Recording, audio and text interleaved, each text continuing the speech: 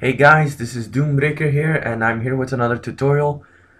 Um, I'm going to say this, you are going to like this. Uh, I like this a lot and it was requested by a subscriber of mine. So this tutorial is how to get a mouse position and how to set it to a specific location. So I'm going to show you three different things you can do with this. So um, first of all, we are going to get the mouse position. I have here a timer, which is set to an interval of 100, so you can just leave it. And then we also have a label, but there's nothing in it. I made it a little big. And uh, what this does, if we debug it, is it's going to show you the X and Y position of our mouse. So that's pretty cool. Uh, how to do it is uh, like this. So you just say timer one dot start when the form loads. And then in the timer you just say dim mouse p for mouse point as a point, which is x and y coordinates, is equal to the mouse position. And then you just say label one dot text is mouse p dot to string and it's going to repeat this every time every time the mouse p or the mouse position is going to change and it's going to display it in our label. Come on HP so um, I recommend you to make this application because it's going to help you in setting uh, coordinates and knowing where to set your mouse position. So uh, now that we know how to get the mouse position, let's go to set the mouse position. So I have here a timer set to an interval of 2 seconds because I want to make a sequence going in a square and then to the button and it's going to change every 2 seconds. Uh, then we have a button called button 1 with the text start sequence and that's all we have to do. So before I jump into the code, let's see what it does. So I'm going to click the button. And as you can see, every two seconds, my pointer is changing and then it just goes right to the button again. So uh, how do I do this? Um, First of all, you have to declare a private function um, set cursor pos library user yeah and all that shit. Uh, I'm going to put this in the description for you guys so uh, you can just copy paste this or if you really want to type it you can just look at the screen now pause the video if you want and just uh, copy it. Now I'm going to dim stage as integer because this is going to um, make the sequence. So I have four positions each of them following each other. That's just to make a sequence. You don't have to do it but if you want you can. Then very important um, private new x as integer and private new y as integer. So uh, this is going to be the values that we are going to set. So um, if you go to timer tick here, you can see select case stage. So it's going to check in which stage we are. If it's stage one, so uh, also I should go to the button first. Um, when we click the button, the stage is going to be one, just to start. And we are we are also going to set the new x and the new y to these coordinates. And then we are going to say the function set cursor pos with our new x and our new y. So what this is going to do is it's going to say that the x of our mouse needs to be 300 the y needs to be 144 and then we just set it to that location.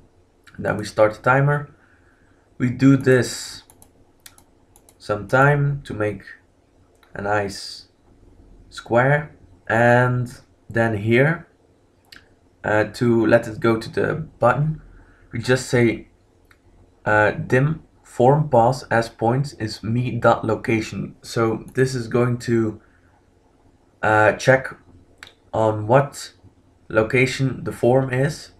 Then it's going to check on what location the button is.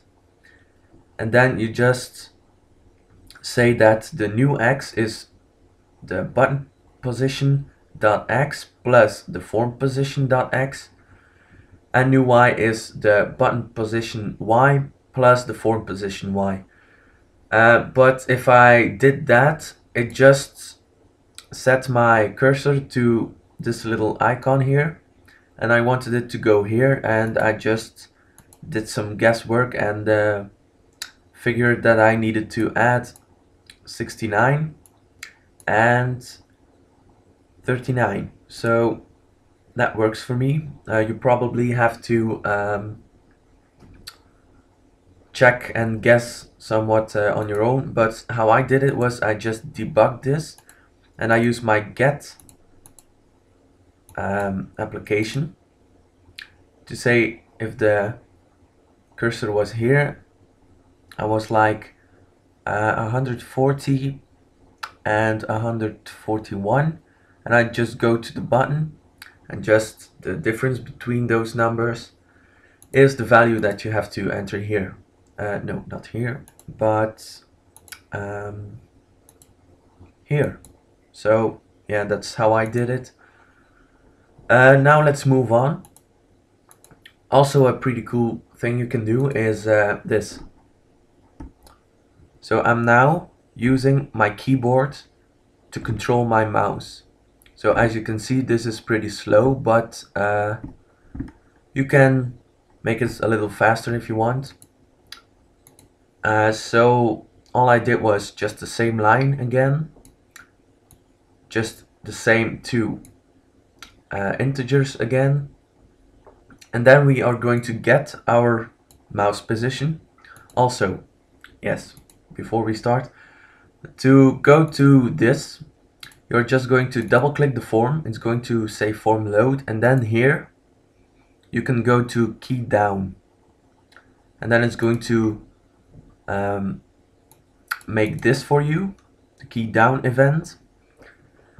And this is where you put the code. So you say dim mouse p as points is equal to the mouse position just to get our current mouse position and then you do a select case e dot e.keycode. So it's going to check which key is pressed and then do the code that's in here according to what key is pressed. So um, the Z, Q, S and D buttons are uh, just the same as WASD but I have an AZERTY keyboard so um, those are the buttons that I use. And then you just say uh, so Z is the top one which is going to do y minus 1 so also if you didn't know y is vertical and x is horizontal. So yeah. Um,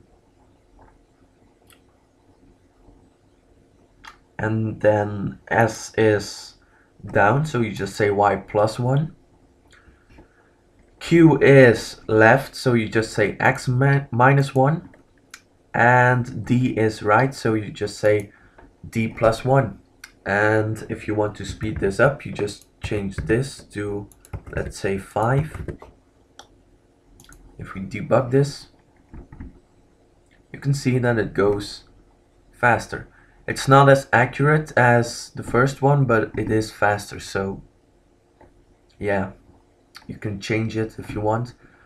But if you want to go um, like to the left and up you can see if I press Z and D at the same time it's just going to go in the direction I pressed last if you really want to do this then you need to add a case here. So let's say case case